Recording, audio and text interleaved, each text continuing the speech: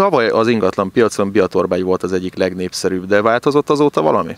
Biatorbágy népszerű mind a használt, mind az új építésű ingatlanok körében, annak ellenére, hogy az árak azóta igencsak még jobban megemelkedtek.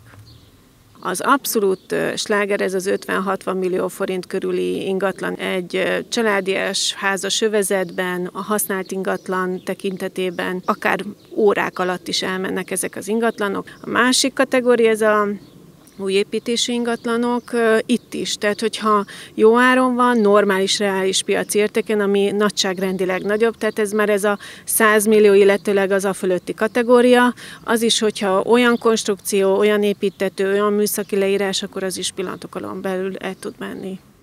A mostani hitelkonstrukciók milyen segítséget jelentenek a Biatorbágyi ingatlanok esetében? Tudunk számolni egy új építési ingatlan tekintetében három gyerek esetében 10 milliós csokról, 15 milliós csok kedvezményes hitelő, illetőleg a babaváró hitel is 10 millió forint, tehát ez már eleve több 10 millió forint plusz költségvetési lehetőséget jelent a családoknak. Ezen kívül megjelent a piacon a zöld hitel is, ennek speciális követelményeket kell annak az adott ingatlannak teljesítenie. Már a kivitelezők így tervezik ezeket az ingatlanokat, és már ilyen konstrukcióval is hirdetik. Ennek a maximált összege 70 millió forint, és igen kedvező. És hogyha valaki zöld hitelt vesz föl, akkor már a, a csok tekintetében is a támogatott hitel még kedvezőbb konstrukciót jelent neki, úgyhogy rengetegen szeretnének ezzel élni, és rengeteg az érdeklődés is.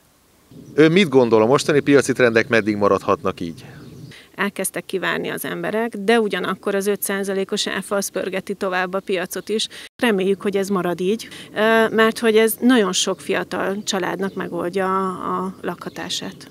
Aki értékesít ingatlant, egyrésztről nagyon nézze meg, hogy milyen áron, tehát ne áron alul, hanem reális, korrekt piaci értéket kérjen érte, illetőleg ha ő befektetni szeretné mondjuk egy másik ingatlanba, akkor mindenféleképpen legyen egy határozott konkrét elképzelés, hogy mit keres hol, és nézzen körül a piacon, mert hogy annyira változnak az árak, hogy előfordulhat az is, ahogy sok ügyfélnél előfordult, hogy ő eladja X összegért az ingatlanát, és egy-másfél hónap múlva kezd el keresgélni, és kiderül, hogy nem kap olyat, amilyet őt szeretne. Tehát azok, akik értékesítenek, attól függen, hogy mit szeretnének, gondolkodjanak előre, és nézzenek körbe az ingatlan piacon.